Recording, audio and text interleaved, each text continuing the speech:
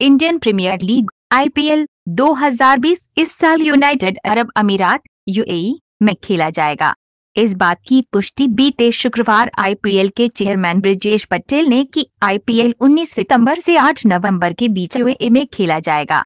अब IPL fans के लिए बड़ी खुशखबरी ये है कि सरकार से बात चल रही है, जिसके तहत कुछ शर्तों के साथ स्टेडियम में आईपीएल के मैच देखने की अनुमति मिलने की संभावना है।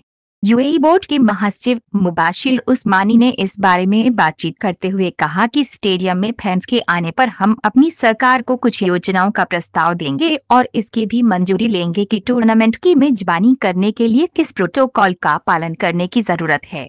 उन्होंने कहा कि जहाँ तक प्रशंसकों का सवाल है, हम चाहते हैं कि यूएई में हमारे एशियाई प्रवासी और अमीरात के लोग भी आए और आईपीएल देखें।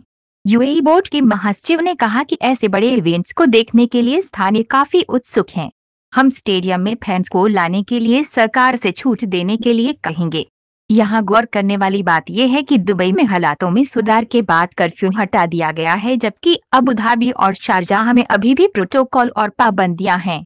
वहीं दुबई में लोगों को आने की अनुमति सहित रेस्तरा और सामाजिक दूरी तथा सुरक्षा के साथ 30 से 50 प्रतिशत लोगों के आने की अनुमति है। गौर हो कि आईपीएल मार्च के अंत में शुरू होना था, लेकिन कोरोना वायरस महामारी के कारण हुए लॉकडाउन के बाद इसे मई तक स्थगित कर दिया गया। इसके बाद मई में हालात अधिक खराब होने के कारण इसे अनिश्चित काल के स्थगित कर दिया गया। भारत में स्थिति में अधिक सुधार न होने और एशिया कप व टी विश्व कप 2020 रद्द होने के बाद अब आईपीएल को यूएई में करवाने पर सहमति बनी है।